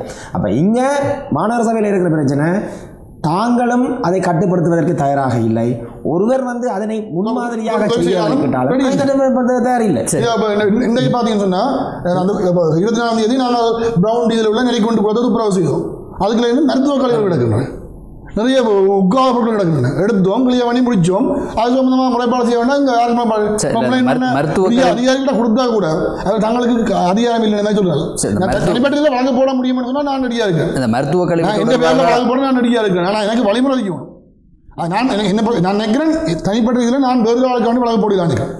சரி இந்த மருத்துவ கழிவு தொடர்பாக அது இன்னும் நிறைய ஆராயப்பட வேண்டி இருக்கிறது அந்த குளத்தில் மாத்திரமல்ல பல இடங்களில் இப்போது மருத்துவ கழிவு தொடர்பான சர்ச்சை உருவாகி கொண்டிருக்கிறது. நீங்கள் வைத்தியரிடம் எடுத்துக்கிறீர்கள் இல்லை என்னோட அந்த அரசியல் பிரச்சனைக்கான தீர்வு முப்பது வருஷத்தை தாண்டி இன்னும் தீர்வு எட்டப்படாமல் இருக்கிறது போல நம்ம இந்த பிரச்சனையும் அப்படி ஒரு தசாப்தங்களை தாண்டி கடக்க போகுதுன்ற ஒரு கவலை இந்த நிகழ்ச்சி முடிந்த பிறகு மக்கள் மத்தியில் ஒரு தொலைவு வரணும் என்றுதான் இந்த நிகழ்ச்சியுடைய நோக்கம். மருத்துவ கலாநிதி அவர்களிடம் அடுத்த கேள்வி. ஒரு பொதுமகனாகவும் ஊடகவியலராகவும் கேட்கிறேன். என் மகளுக்கு இரண்டு வாரங்களுக்கு முன்னால் அவளுக்கு ம மதியம் சாப்பாட்டுக்கு பிறகு திடீரென்று ஒரு சத்தி. சத்தியோடு சேர்த்து ஒரு காய்ச்சல் குணம் ஒன்று இருந்தது. ஆனால் நன்றி சொல்ல வேண்டும். யாழ் மாவட்டத்தில் இருக்கின்ற அத்தனை வைத்தியர்களையும் எந்த நேரத்திலும் தொடர்பு கொள்ளக்கூடிய ஒரு வரப்பிரசாதம் எனக்கு இருக்கிறது. நான் டேன் தொலைக்காட்சியும் சிரேஷ்ட பதவியில் இருந்தபடியாலும் மற்றது நான் இங்கே ஒரு மருத்துவ நிகழ்ச்சி ஒன்றை நான் செய்து கொண்டிருக்கிறோம். நிலந்தானா என்ற நிகழ்ச்சி. அப்போ எனக்கு எந்த வைத்தியரையும் எந்த நேரத்திலும் அழைக்கக்கூடிய அளவுக்கு எனக்கு அந்த வசதி வாய்ப்பை அவர்களே தந்திருக்கிறார்கள். அப்போ அப்படி ஒரு வாய்ப்பு பெற்றிருந்த எனக்கே ஒரு பெரிய சங்கடம் ஒன்று வந்ததுன்னு சொன்னால் என் பிள்ளைக்கு காய்ச்சல் வந்திருக்கிறது. அப்போ எனக்கு தெரியும். இப்போ நான் நிகழ்ச்சி இருந்தபடியாக இது டெங்குவாக இருக்கலாம். அல்லது அனோபிலிஸால் வரக்கூடிய ஃபீவராக இருக்கலாம். வேறு ஏதாவது வைரஸ் காய்ச்சலாக இருக்கலாம். அப்போ அந்த மூன்று ஊகங்கள் என்னிடம் இருக்கிறது. அதனால் இதுக்கு உடனடியாக என்ன நடவடிக்கை எடுப்பது? எங்களுடைய ஆதார வைத்தியசாலை பொது வைத்தியசாலை போதனா வைத்தியசாலைக்கு கொண்டு போகிறதா? என்று சொல்லி சொன்னால் எனக்கு வந்த ஒரு கலக்கம் நான் தொட சில தொடர்புகளை எடுத்து நிலைமை எவ்வாறு இருக்கிறது நான் என்ன செய்ய என்று கேட்டபோது நான் யாரிடம் வந்து அந்த கருத்தை பெற்றேன் என்று நான் சொல்ல வரவில்லை. ஒரு பொறுப்பு வாய்ந்தவரிடம் வந்து கேட்டது. அப்போ அங்கேருந்து வந்தது என்னென்னா இங்கே ஒரே நிரம்பி வழியுது. அப்போ நீங்கள் அதை கன்ஃபார்ம் பண்ணுங்க கன்ஃபார்ம் பண்ணிட்டு வாங்க பிளட் பிளட் செக்அப் ஒன்று செய்துட்டு வாங்க வர்றது நல்லது இந்த மாதிரி சொல்லிச்சிடும். அப்போ இங்கே ஒரு பிரச்சனை வருகிறது என்றால் நாங்கள் பொது வைத்தியசாலை போதனா வைத்தியசாலையை நம்பி இருக்கிற மக்கள் ஒரு காய்ச்சலுக்கு ஒரு வேறு ஒரு வருத்தத்துக்காக அந்த வைத்தியசாலைக்கு செல்கின்ற போது தேவையில்லாத இன்னொரு வருத்தத்தையும் நாங்கள் பெற்றுட்டு வரலாம். என்றால் டெங்கு என்பது அபாரண ஒன்று. வைத்தியசாலையிலே நீங்கள் புல்லாக நெட்டடிக்க முடியாது. அப்போ அங்கே டெங்கு நோயாளிகள் இருக்கிறார்கள். இவ்வளவுதான் சுத்தமாக அந்த வைத்தியசாலையை வைத்திருந்தாலும் சில பேர் அந்த வைத்தியசாலை வளாகத்துக்குள்ளேயே டெங்கு உடம்பு கடிக்கக்கூடிய வாய்ப்புகள் இருக்கிறது அதை நீங்கள் சொல்லுங்கள். அது அந்த பதில் நீங்கள் தர வேண்டிய ஒரு பதில். அப்போ அப்போ இந்த பிள்ளையை அங்கே கொண்டு போனால் அங்கே இருக்கக்கூடிய அந்த மருத்துவ பரிசோதனைக்குரிய தாமதம் அது அது தவிர்க்க முடியாத ஒன்று. போதனா வைத்தியசாலையை பொறுத்த வரைக்கும் தாமதம் என்பதை தவிர்க்க முடியாது. நாங்கள் அந்த நிர்வாகத்தை பழி சொல்லவும் முடியாது. என்றால் தினமும் ஆயிரக்கணக்கான நோயாளர்கள் வருகிறார்கள். அவர்களை பரிசோதித்து பார்க்க வேண்டும். வரையறுக்கப்பட்ட இதல்ல நோயாளர்கள் அதிகரித்து கொண்டு செல்கிறார் அப்போ அப்போ நான் விரும்பியோ விரும்பாமலோ நான் ஒரு தனியார் வைத்தியசாலைக்கு என்னுடைய பிள்ளையை அழைத்து சென்று அங்கு ஒரு ஒரு மருத்துவ நிபுணரை அழைப்பித்து என் பிள்ளைக்கு என்ன பிரச்சனை என்பதை தெளிவுபடுத்த வேண்டிய ஒரு ஒரு நிலைமைக்கு நான் தள்ளப்படுகிறேன். அப்போ இப்படியான நிலைமையில் இன்றைக்கு பல பெற்றோர்கள் இருக்கிறார்கள் பல பொதுமக்கள் இருக்கிறார்கள். அப்போ அப்போ அவர்களுக்கு என்ன பதில் சொல்லலாம் என்றது ஒன்று. இரண்டாவது என் வீட்டிற்கு முன்னாலேயே ஒரு டெங்கு நோயாளி இருக்கிறார். சரி அந்த டெங்கு நோயாளி என்று இனம் கண்ட பிறகு மாநகர சபையிலிருந்து வந்து புகையடிப்பான். நான் இருக்கின்ற புகையிரத வீதி யாழ்ப்பாணத்தின் புகையிரத வீதி. அங்கே சில அமைச்சர்கள் வருகிறார்கள் பிரதமர் வருகிறார் ஜனாதிபதி வருகிறார்னு சொன்னால் அங்கே உள்ள நட்சத்திர ஹோட்டலில் தங்குவாங்க. அப்போ வரி நம்மன்னு சொன்னால் அந்த ஏரியா ஃபுல்லாக க்ளீன் பண்ணப்படும் அழகுபடுத்தப்படும். பிறகு ரெண்டு மூணு கிழமையில் அது அப்படியே இருக்கும். நீங்கள் அந்த புகையிரத வீதிக்கு வந்து பார்த்தா தெரியும் எத்தனை மரம் நட்டுனாங்க நிழலுக்கு இந்த எத்தனை மரம் மாடு சாப்பிட்ருக்குன்னு பாருங்க. சில ஆர்வமுள்ள பிரஜைகள் தங்கள் வீட்டிலே நடப்பட்டிருந்த மரத்தை அவர்கள் பராமரிக்கிறார்கள் தாங்களே. அப்போ அப்படியான பொது பிரச்சனை இருக்குது அப்போ டெங்கு நோய் வந்திருக்கு என்று சொல்லி சொன்ன அப்புறம் இப்போ அயலில் உள்ள ஆட்கள் எல்லாருக்கும் பயம் பார்க்க மாட்டீங்களா க பன்னெண்டு மணி ஒரு மணிக்கு வீட்டில எல்லாம் கதவெல்லாம் அடித்து சாத்திடுறாங்க. ஏன்னா அந்த அந்த அந்த- அந்த நோயாளி அவருக்கு உரிய சரியான ஆலோசனை கொடுக்கப்படாமல் இருந்திருந்தால் இருந்தால் எங்களுக்கு அந்த அச்சுறுத்தல் இருக்கிறது. அப்போ இங்கே சுகாதார திணைக்களமோ அல்லது இந்த டெங்கு நோய் தொடர்பான தடுப்பு நடவடிக்கை இருக்கிற இந்த அதிகாரிகளும் இதுவரைக்கும் வந்து சந்திக்கல. அந்த பகுதியில் உள்ள மக்களை வந்து சந்திக்கிறது. அப்போ நான் கேள்விப்படுகிறேன் இந்த டெங்கு நோயின் பெருக்கத்துக்குரிய அதிக காரணம் என்னுடைய ஆய்வின்படி காலையில் பத்து மணி வரைக்கும் அந்த உடம்பு கழிக்கக்கூடிய வாய்ப்புகள் இருப்பதாக சொல்லுகிறார்கள். ஆனால் பொதுமக்கள் எல்லோரும் மாலை வேளையில் மட்டுமே அந்த ப்ரிவென்ஷனை அவர்கள் எடுத்துக்கொண்டு இருக்கிறார்கள் மாலை வேளையில் தான் அந்த உடம்பு கடிக்கும். அப்போ மாலையில் நாங்கள் அஞ்சு மணிக்கு கதவை சாத்தி போடு புகை போடணும் வகுப்பில் போடணும் கோயிலை கொளுத்தணும் அதை கொளுத்தணும்னு செய்யணுமே ஒழிய காலையிலே எந்த பொதுமக்களும் இது தொடர்பான அக்கறையோடு இல்லை. அப்போ அவர்கள் காலையில் வேலைக்கு போகிறது பிள்ளைகள் ஸ்கூலுக்கு அனுப்புகிறது அந்த பரபரப்பில் இருக்கின்ற போது அவர்கள் நுழம்பு கடிப்பது தெரியாது. அப்போ இந்த நுழம்பு டெங்கு நோய் பாதிப்பு அதிகரித்ததுக்கான காரணம் காலையிலே மக்களுடைய கவனையினத்தால் தான். மக்களோட வெளிப்பாக தான் இருக்கிறாங்க. மற்றது என் பிள்ளை ஒரு விசேட தேவை பொருந்திய ஒரு பிள்ளை. என் பிள்ளை இப்போ பேம்பஸ் தான் பாவிக்கிறது. அப்போ நான் அந்த பெம்பர்ஸை ஒவ்வொரு நாளும் எனக்கு குறைஞ்ச ஒரு அஞ்சாறு பெம்பர்ஸ் நான் டிஸ்போஸ் பண்ண வேண்டியிருக்கு. ஆனால் அப்போ அதை டிஸ்போஸ் பண்ணுறது எப்படி? இப்போ நானும் வேறு வேறு விதமாக பொது செய்து தான் நான் குப்பைகளை வைத்திருக்கிறேன். திருமண கழிவுகளை வைத்திருக்கிறேன். ஆனால் அதை வந்து எடுத்துக்கொண்டு போக வேண்டியவர்கள் வந்து ஒழுங்கு இல்லை. அது நான் நேரடியாக சொல்கிறேன் நான் புகையிரத வீதியிலே யாழ்ப்பாணத்திலே நான் இருக்கிற இடத்திலே இந்த குப்பைகளை வந்து பெறுவது என்பது ஒழுங்குமுறையாக இது- வருவார்கள் போவார்கள். அப்போ அந்த அந்த பேம்பர்ஸை நான் என்ன செய்கிறது? உரிய நேரத்திலே அந்த திண்மக்கழிவை பொறுப்பேற்க வேண்டிய அந்த நிர்வாகம் வராட்டி நான் என்ன செய்கிறது? அப்போ நான் ஆரம்பத்தில் என்னுடைய அறிவீனம் என்ன செஞ்சேன்? நான் இந்த வளவுக்குள்ளே? வளவன்னா அங்கே பெரிய வளவு இல்லை. எந்த வீட்டுக்கும் பக்கத்து வீட்டுக்கும் ஒரு அஞ்சடி ஆறடி தான் வித்தியாசம். ஒரு மது நடுவில் இருக்குது இப்போ என்ன செய்தேன்? பெட்ரோல் மண்ணெண்ணெய் வாங்கி படாரண்டு போட்டு கொளுத்தி விட்டேன். கொளுத்தினோடனே வந்து அதுக்கு பிறகு தான் அஹ், எனக்கு மருத்துவ அதிகாரி சொன்னார் நீங்கள் இதை அகற்றுகிறீர்கள்னு சொல்லி உயிராபத்தை இன்னும் அதிகரிக்கிறீர்கள். அது உங்களுக்கு மட்டுமல்ல பக்கத்து வீட்டில் உள்ளவர்களுக்கும் புற்றுநோய் வரக்கூடிய ஒரு பாதிப்பை வருது. அப்போ நான் என்ன செய்கிறது அந்த பெம்பஸை நான் என்ன செய்கிறது சரி மருத்துவரிடம். நீங்கள் முதல் கேட்ட கேள்வி இந்த காய்ச்சல் வந்தால் என்ன செய்கிறேன்ட்டு டெங்கு காய்ச்சல் முதல் நாள் ரெண்டாம் நாள் நாங்கள் அவ்வளவு பயப்பட தேவையில்லை ஆனால் வாந்தி அடிக்கடி வாந்தி வயிற்றோட்டம் வந்தால் அவர் நீராகாரம் எடுக்க முடியாது. உடனடியாக வைத்தியசாலைக்கு வருது வருவது நல்ல வாந்தி வயிற்றோட்டம் இல்லாதவர்கள் காய்ச்சல் இருந்தால் முதல் நாள் ரெண்டாம் நாள் போதிய அளவு நீராகாரம் எடுக்க வேண்டும். நீராகாரம் என்றால் இளநீ பழச்சாறு பால் தேநீர் போன்றவைகள் எடுக்கலாம். கஞ்சி இலக்கஞ்சி ஜீவனி அவைகளை எடுக்கலாம். காய்ச்சல் அதிகமாக இருந்தால் நாங்கள் பரசிட்டமோல் வில்லைகளை பாவிக்கலாம். குழந்தைகளுக்கு அவை நிறைக்கு ஏற்ற அளவுக்கு தான் எடுக்க வேண்டும். மற்ற வளர்ந்தவர்கள் பதினாறு வயதுக்கு மேற்பட்டவர்கள் ரெண்டு பெனடோல் எடுக்கலாம். ஒரு நாளைக்கு நான்கு தடவைகள் எடுக்கலாம். கூடுதலாக எடுத்தால் பெனடோலால் ஈரல் பாதிப்பு ஏற்பட்டு அது பிரச்சனையை கொண்டு வரலாம். வாந்தியோ வைத்தோட்டமோ இல்லாமல் காய்ச்சல் இருந்தால் நீங்கள் போதிய நீராகாரம் இவை எடுத்துவிட்டு ரெண்டாம் நாள் அல்லது மூன்றாம் நாள் வைத்தியசாலைக்கு சென்று இரத்தத்தை சோதித்து பார்க்கலாம்.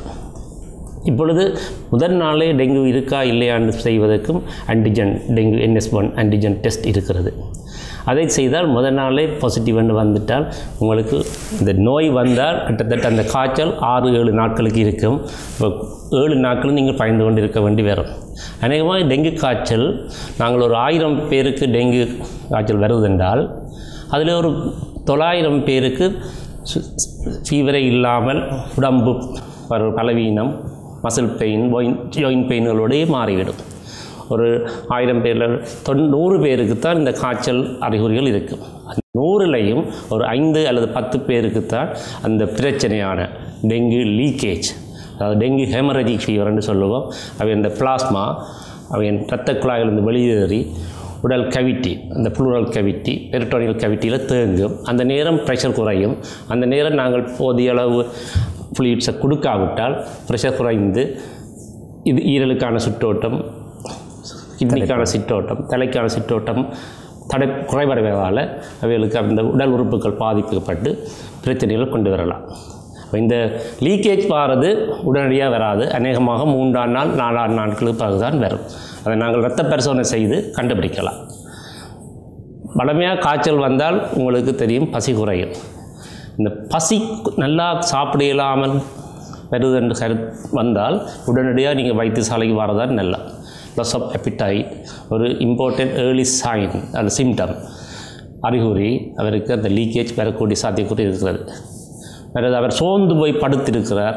ஒன்றுமே செய்ய இல்லாமல் இருக்கிறார் ஒன்றும் குடிக்க இல்லாமல் இருக்கிறார்னா உடனடியாக நீங்கள் வைத்தியசாலைக்கு வர வேண்டும் காய்ச்சல் ஒரு நாளோ ரெண்டு நாளோ உடனே வர வேண்டும் அப்போ நீங்கள் வாந்தி வயிற்றோட்டம் பசியின்மை ஆகாரங்கள் எடுக்க முடியாமல் தன்மை இருந்தால் அவர்கள் முதல் நாள் நாளோ ரெண்டாம் நாள் உடனடியாக வைத்தியசாலைக்கு வர வேண்டும் அவர்கள் போதிய அளவு நீராகாரம் எடுக்கக்கூடியதாக இருக்குது பெரடோலோட கண்ட்ரோல் பண்ணக்கூடியதாக இருக்குது வேறு அறிகுறிகள் பெருசாக இல்லை என்றால் ஒரு நாள் ரெண்டு நாள் நீங்கள் வீட்டில் வைத்து பார்க்கலாம். ஆனால் மூணாம் நாள் கட்டாயம் ரத்த பரிசோதனை செய்து பார்க்குறது நல்ல. அப்போ பொது வைத்தியசாலைக்கு வந்தால் அங்கே ஓபிடியில் கிட்டத்தட்ட ஒரு நாளைக்கு ஆயிரக்கணக்கான மக்கள் வருவார்கள். எல்லாம் டெஸ்ட்டுகள் செய்து உங்களுக்கு அட்வைஸ் பண்ணி நீங்கள் வீட்டை போகலாம். நாளைக்கு திரும்ப வரணும் திரும்ப ரத்த பரிசு செய்யணும். சில இண்டிகேஷன் வந்தால் அட்மிட் பண்ணுவீங்க எடுத்தோம் அதே மாதிரி நாங்கள் பார்த்துருக்குறோம். இந்த காய்ச்சல் வந்தோடனே வீட்டில் ஒன்றையும் குடிக்கிறது இல்லை குடிக்கவும் குடிக்கிறோம் இல்லை சாப்பிட இல்லைன்னு சொல்லி போட்டு சாப்பிடாட்டாலும் பரவாயில்லை. நீர் ஆகாரம் ஒரு மனிதனுக்கு ஒரு நாளைக்கு ரெண்டு லிட்டராவது நாங்கள் நீராகாரம் எடுக்கணும். அல்லது உடம்பில் நீர்த்தன்மை குறைஞ்சு அவையெல்லாம் நிற்கிறதோ நடக்கிறதோ கஷ்டம் மயக்கம் போட்டு தான் விழ வேண்டிய சந்தர்ப்பங்கள் வருகிறது. ஆகவே நீங்கள் இந்த காய்ச்சல் வந்தால் முதல் நாள் ரெண்டாம் நாள் பனடோல் பிள்ளைகளுடன் நீராகாரங்களை கொடுங்கள். சக்தி வயிற்றோட்டம் உடம்பு இயலாத்தன்மை பசி இல்லை வேறு வருத்தங்கள் மற்றது ப்ரெக்னென்ட் லேடிஸ் கற்பமிட்டிருக்க அம்மாமார்கள் முதல் நாளே வர வேண்டும். அவருக்கு டயபிட்டிஸ் ப்ரெஷர் வேறு வருத்தங்கள் இருக்கிறவர்களும் காய்ச்சல் வந்து முதல் நாளே வர வேண்டி வரும். இல்லை அது அதில் முக்கியமான ஒரு விஷயம் நான் எதிர்பார்க்குறது என்னன்னா வைத்தியசாலைக்கு வர எடுக்கின்ற நிலைமையிலே பொதுமக்களுக்கு இருந்த பயம் அங்கே வந்தால் சில வேளை எங்களுக்கு மேலதிகமாக வேறு வருத்தங்களுக்கு போய் எங்களுக்கு நாங்கள் பார்த்துருக்கிறோம் இவ்வளவு பேர் வந்திருக்கிறார்கள். இந்த வைத்தியசாலையில் வேலை செய்கிறவர்களுக்கு வைத்தியசாலையிலிருந்து நுழம்பு கிடைச்சி வருத்தம் வந்திருக்கிறோம். நாங்கள் அந்த-. உத்தரவாதத்தை ஒரு பொறுப்பு வாய்ந்த அதிகாரி மக்களுக்கு சொல்லுகின்ற போது மக்கள் மத்தியிலே அந்த மயக்கம் இல்லாமல் போயிடும். அதுக்காக அந்த கேள்வி. வைத்தியசாலையில் வேலை செய்கிற சில பேருக்கு வருத்தம் வந்திருக்கலாம். இது அநேகமாக வீட்டிலே இருந்தால் அந்த வருத்தம் வந்திருக்க வேண்டும் வைத்தியசாலைக்கு வந்து அங்கே வந்ததாக நாங்கள் அறிந்ததாக இல்லை. சரி இன்னும் பல விடயங்களை? சொல்ல முடியாது வைத்தியசாலையில் அவர்கள் அந்த ஃபொக்கிங் செய்வார்கள். ஒரு கிழமையில் ரெண்டு நாள் அந்த நுழம்புகளை அழிக்கிறதுக்கு. மற்றது நீர் தங்கி இருக்கிற இடங்கள் சுத்தம் செய்வார்கள். இந்த நீர் தங்கி இருக்கிற இடங்கள்லாம் முக்கியம். சின்ன நீர் காணும் இந்த டாய்லெட் ரெண்டு நாளை பாவிக்காவிட்டாலும் கமட் அதில் அதில் இருக்கிற தண்ணீரும் நுழம்பு வரலாம். பிட்டில் ஒரு வடிப்பு இருந்தால் அதிலிருந்து நுழம்பு வரலாம். கிணத்து தண்ணியிலேருந்து வரலாம். கிணத்துக்கு நெட் போட்டு விடுறது நல்ல நுழம்பு வழியில் வராமல் இருக்கலாம். நீங்கள் தண்ணி அகற்ற முடியாட்டால் அதுக்கு எண்ணெயை ஊற்றி விடலாம். அதில் நுழம்பு பெருகாமல் இருக்கிறதுக்கு. சரி. அடுத்து கேள்வி பக்கத்திலிருந்து நாங்கள் அவருடைய கருத்தோடு கேள்வி ஆரம்பிக்கலாம். ஊடக நண்பர் கலேஷ். வணக்கம். ஏற்கனவே இதில் கலந்துரையாடிய பல விடயங்களை பார்க்கின்ற பொழுது திடீரென அதிகரிக்கப்பட்ட இந்த டெங்கு நோய் தாக்கத்துக்கான பிரதான காரணம் வந்து இந்த கழிவகற்றல் முறை என்று சொல்லப்பட்டிருக்கிறது. ஏற்றுக்கொள்ளக்கூடிய ஒரு விடயம். இங்கு வந்திருக்கின்ற இந்த மூன்று அதிதிகளிடமும் ஒரு சிறிய ஒரு வினா. அது தனித்தனியாக பதில் சொன்னாலும் பரவாயில்ல. அது சிறிய ஒரு பதில் தான். ஒரு வினா. பொதுவான ஒரு வினா ஆனால் தனித்தனியாக பதில் சொல்கிறேன்டா சொல்லலாம் ஆஹ், சுவாரஸ்யமானது ஆனால் தேவையானது. நீங்கள் வந்து கடல் உணவு சாப்பிட்ற பழக்கம் இருக்குதா? உங்களுக்கு? ம். இருக்குதா? சரி இருக்குதுன்னு வச்சுக்கொள்ளும் ம். நண்டு இறால் மீன் ம். இப்படியானதில் அடிக்கடி விரும்பி சாப்பிட்றோம். இந்த கழிவகற்றல்ன்றது வந்து ரெண்டு ஒன்று வந்து நாங்கள் பிரித்து வச்சு அகற்றக்கூடிய ஒரு கழிவு. இன்னொன்று வந்து அண்டண்டாடைக்கு உடனுடன் அகற்றப்பட வேண்டிய கழிவுகளும் இருக்கும்.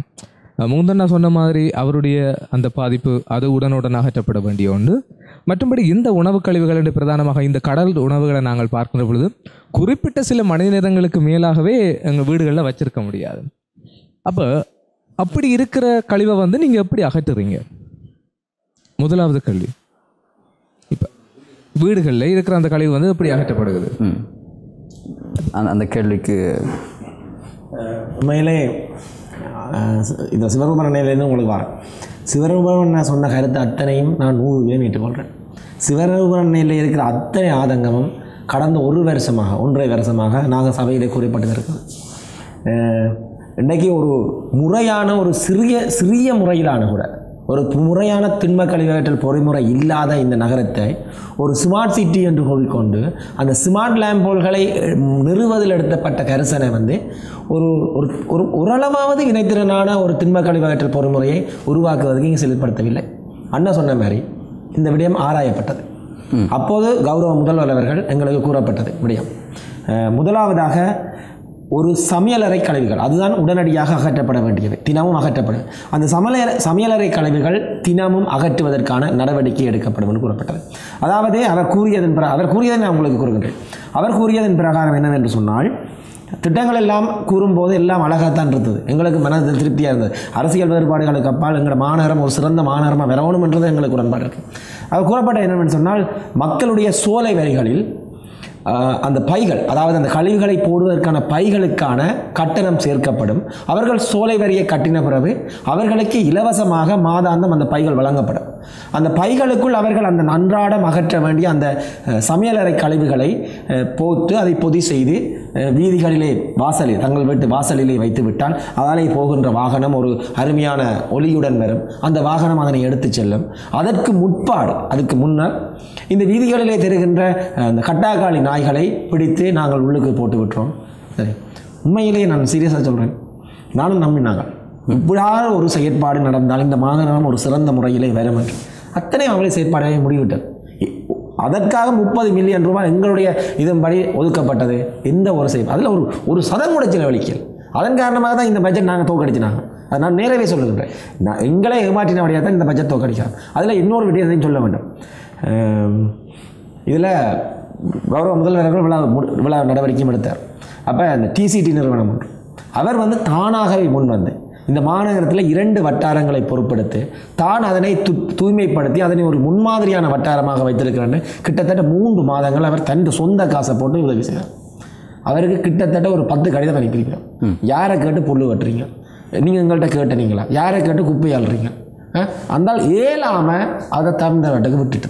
அதே மாதிரி அவர் கிட்டத்தட்ட ஒரு கோடி ரூபாய்க்கு ஆ, இன்றைக்கு ஒரு நாய்கள் சரணாலயத்தை ஆரம்பிக்க விட கிட்டத்தட்ட ஒரு பதினஞ்சு கடிதம் அனுப்பி அந்த அனுமதி பாரு இந்த அனுமதி பாரு அப்போ ஒரு பொறிமுறை ஒன்று எங்கள்கிட்ட இல்லை. ஆனால் ஒரு தன்னார்வ நிறுவனங்கள் வந்து அந்த பொறிமுறைக்கு நாங்கள் வலுச்சேர்க்கிறோம் என்று வரும்போதும் அதை வந்து அவர்கள் அனுமதிக்கவில்லை. ஏற்றுக்கொள்வதற்கோ அனுமதிக்கோ தயாராக இல்லை அதுக்கு அவர்களுக்கு வேறு வேறு நிறைய வேறு கருத்துக்கள் இருக்கலாம். ஆனால் இன்றைக்கு நாங்கள் ஒரு கட்சி அவர் ஒரு கட்சி.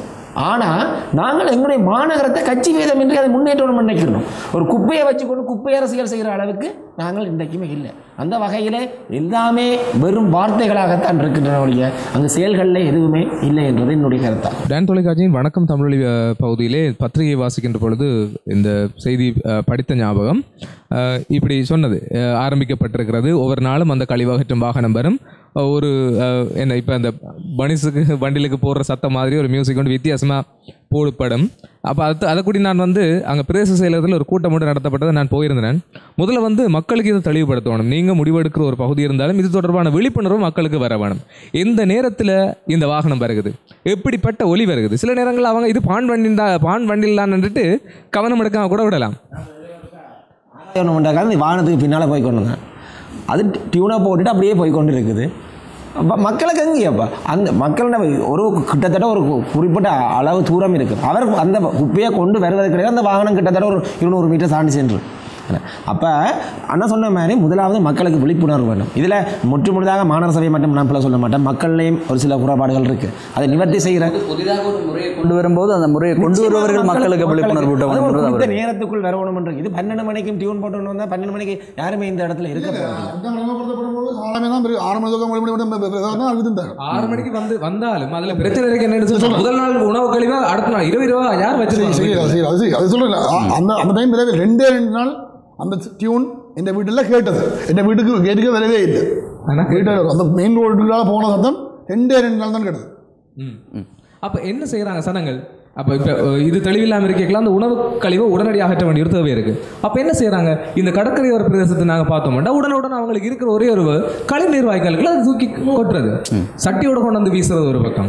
அது வீசைகள் ஒழுங்காகவும் வீசப்படாமல் சிதறப்பட்டு வீசுறது இன்னொரு பக்கம். இன்னொரு பக்கம் என்னன்னு கேட்டால் சட்டியோட கொண்டு போனால் யாரும் கண்டுவாங்களேன்ட்டு ஷாப்பிங்கில் கட்டிட்டு அப்படியே கொண்டே வாய்க்காலில் போடுறாங்க. அது இன்னும் இன்னும் இரண்டு மடங்கு. அது இரண்டு அது என்ன நடக்குது? அது அங்கே இறுகி தண்ணி ஓடாம நீ சொன்ன விஷயம் சட்டியோட விஷயம் வந்து காகம் நாய்கள் சாப்பிட்டு அரைவாசி கழிவு இல்லாமல் போயிடும்.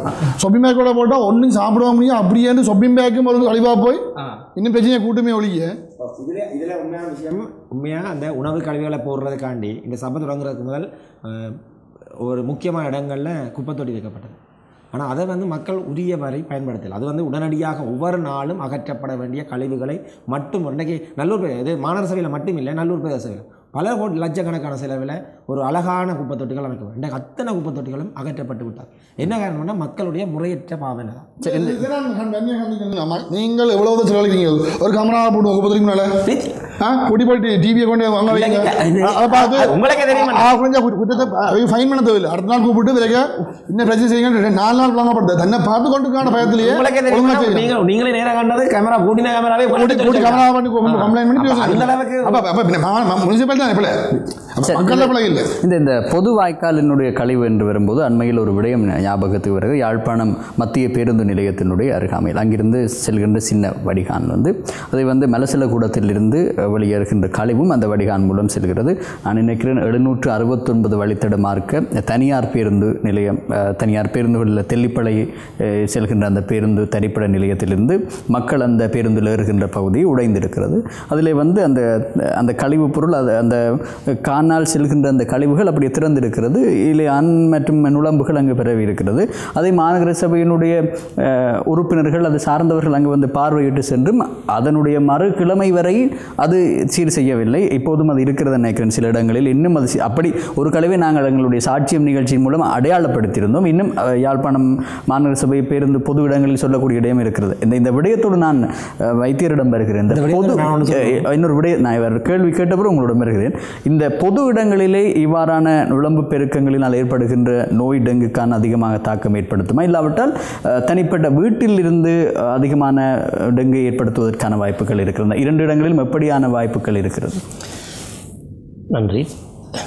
பொது இடங்களில் மக்கள் தங்கி நிற்கிற நேரம் குறைவு. ஆனால் சொந்த வீட்டிலே அவர்கள் தங்கி நிற்கிற நேரம் கூட. அப்போ நுழம்பின் கடிக்கப்படுறதுக்குரிய சான்சஸ் வந்து வீடுகளில் தான் கூடுதலாக இருக்கிறது. ஆகவே வீடுகள் சுத்தம் படுத்துவதோடு பொது இடங்கள்லையும் சில பேர் கடைகள் இதில் வேலை செய்வதற்கும் தாக்கம் பெறலாம். ஆகவே பொது இடங்களையும் நாங்கள் சுத்தப்படுத்த வேண்டும். வீடுகளையும் நாங்கள் சுத்தப்படுத்த வேண்டும். இவ்வாறு நாங்கள் ஒரு ஆளுக்கு ஒரு ஆள் குறை சொல்லிக் கொண்டிருக்காமல் ஒவ்வொருவரும் நாங்கள் செய்ய வேணும் இதை நாங்கள் என்ன செய்ய வேணும் என்றால் மக்களுக்கு அறிவுறுத்தணும். இப்படி இப்படி செய்யுங்கள்.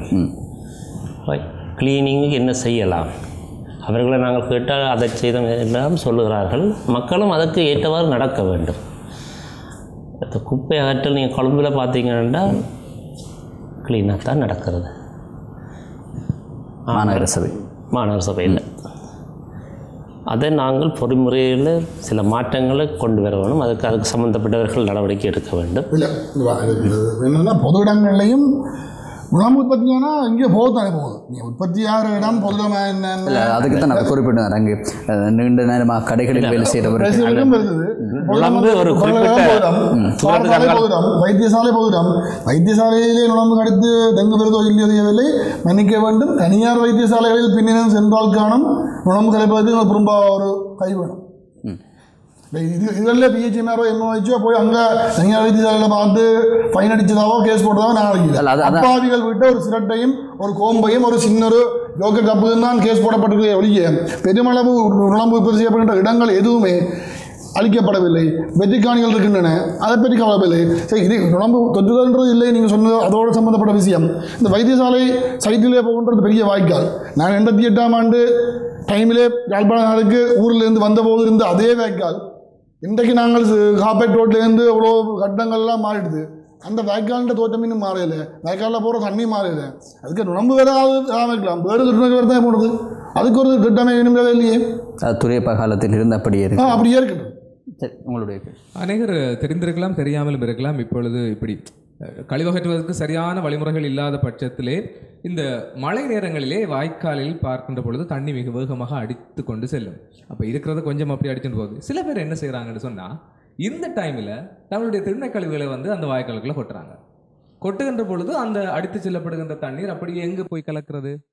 கடலோடு கலக்கிறது. கடலோடு கலக்குகின்ற பொழுது கழிவுகளோடு சேர்ந்து பொலித்தீன் பிளாஸ்டிக் கப் என்று சொல்லி எல்லாமே போய் வந்து கடற்கரையோடு அப்படியே போய் அங்கே கரையோடு படியுது அப்போ இப்படி பார்க்கல நாங்கள் இங்கேருந்து அகற்றுறதுக்கு ட்ரை பண்ணுற அதே சமயத்தில் இன்னொரு புறத்தில் வந்து அது இன்னும் உருவாகி கொண்டு தான் இருக்கிறது. அது ஒரு சுழற்சி மாதிரி. அப்போ கடற்கரையோரமாக இருக்கின்ற அந்த கப் வந்து யாருமே அது ஒரு பொதுமைப்படுத்தப்பட்ட இடம் எந்த வீட்டையும் நான் வடிவாக கவனிக்கிறதில்ல நான் போய் கடற்கரை பார்க்க போகிறேன் அப்போ கடல் கரையோடு இருக்கிற அந்த இடங்கள்லையும் தண்ணி தேக்கம் வந்து அங்கேயும் நுழம்பு பெருகி கொண்டு தான் இருக்குது இப்படி மாறி மாறி நாங்கள் சொல்லப்போனால் ஒரு பக்கத்தால் ஒரு குற்றச்சாட்டுகளை வச்சுக்கொண்டே போகலாம். ஆனால் இதுக்கு உடனடியாக தீர்க்கப்பட வேண்டிய தீர்வென்று நாங்கள் யோசிக்கின்ற பட்சத்தில் இந்த கழிவகற்றல் முறையை வந்து செம்மையாகவும் அதாவது சரியான முறைப்படி. ஒரு கிழமையில் ஒரு ஏரியாவுக்கு ஒரு மூன்று முறை போனாலாவது ஓரளவு சமாளிக்கலாம். இரண்டு நாள் வருமண்டு கிடக்குது. ஆனால் கிட்டத்தட்ட ஒரு நாள் தான் போகுது.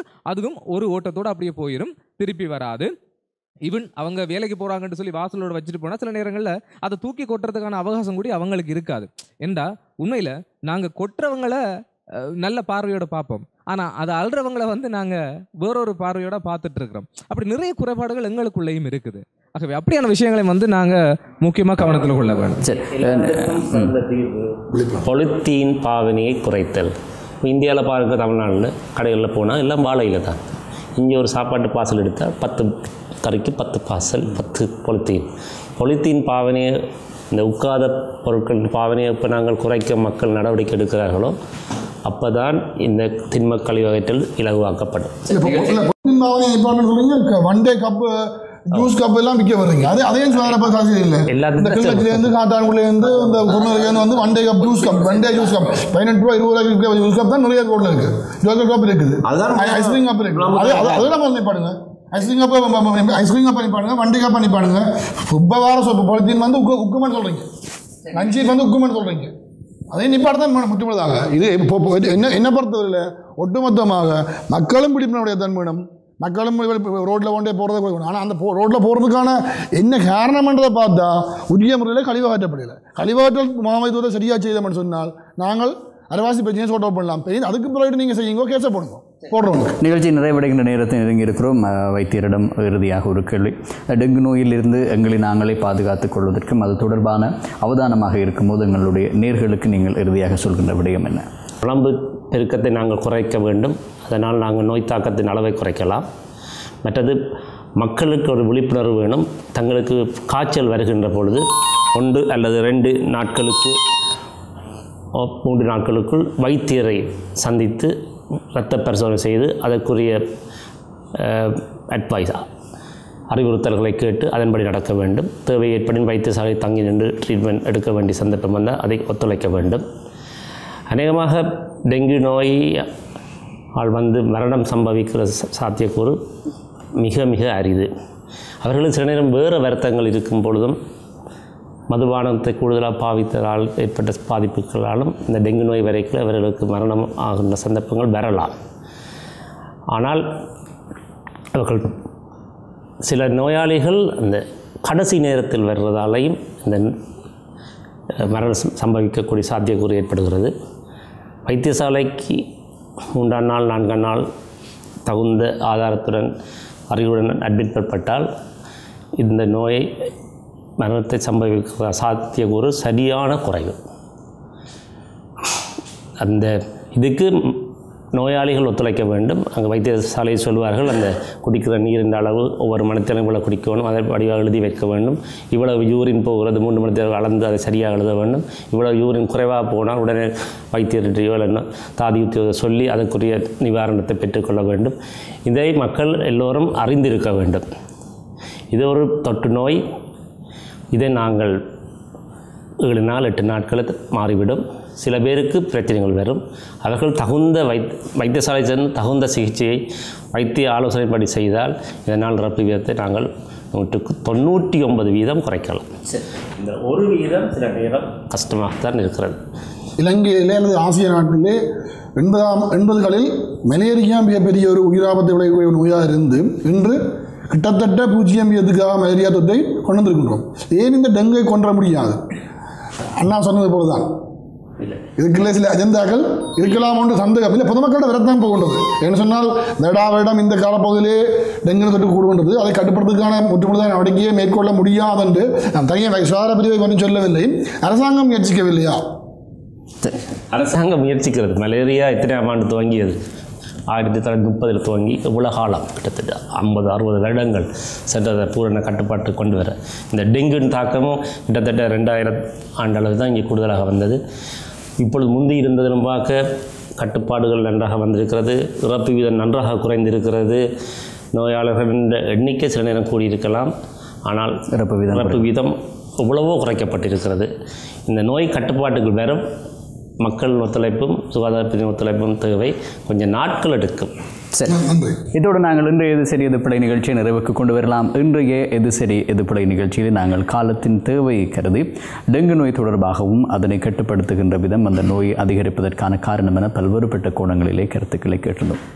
உண்மையிலே எது சரி எது பழி என்று நாங்கள் ஆராயும் போது தனி மனிதன் ஒருவனுடைய மாற்றத்தினால் தான் இதை மாற்ற முடியும். நாங்கள் எங்களுடைய வீட்டில் இருந்து அதை ஆரம்பித்தால் தான் வீதி அது போன்ற பொது இடங்கள் என மாற்றங்களை கொண்டு வர முடியும்.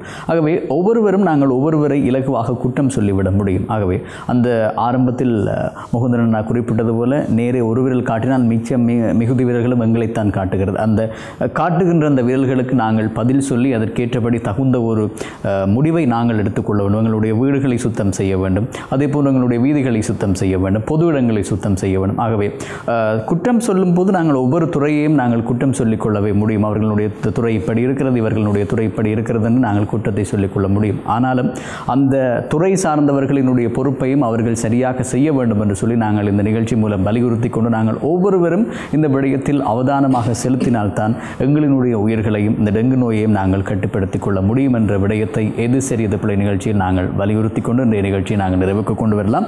எங்களுடைய அழைப்பினை ஏற்று அவருடைய இந்த டெங்கு நோய் காலத்திலும் அவருடைய வேலைக்கு மத்தியில் இங்கு வருகை தந்த விசேடமாக வெளிநாட்டு சென்று டெங்கு நோய் தொடர்பாக பயிற்சி பெற்ற வைத்திய கலாநிதி பொது வைத்திய நிபுணர் பேரானந்தராஜ் ஐயா அவர்களுக்கு என்னுடைய மனமார்ந்த நன்றிகளை தெரிவித்துக் கொண்டு யாழ்ப்பாண மாநகர சபையினுடைய சுகாதார குழு தலைவர் பாத்தியவன் அவர்களுக்கும் நன்றிகளை தெரிவித்துக் கொண்டு அதே போன்று பொதுமக்கள் சார்பிலே பொதுமகனாக வருகின்ற சிவருவனுக்கும் என்னுடைய மனமார்ந்த நன்றிகள்.